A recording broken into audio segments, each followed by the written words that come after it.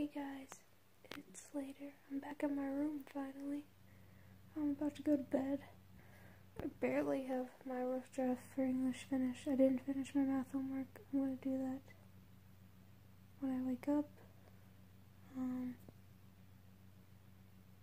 hmm. Let's see what else. Uh, today's been pretty boring. Except Tristan and I made it to season 8 of How I Met Your Mother. That was pretty cool. But yeah, I'm gonna go to bed now. And I'll see you guys in the morning. Bye. Hey guys, good afternoon. I'm doing homework right now, but there are no comments today.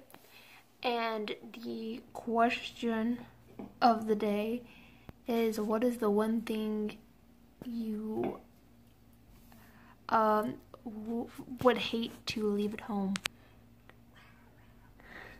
Um, uh, today I left my glasses at home.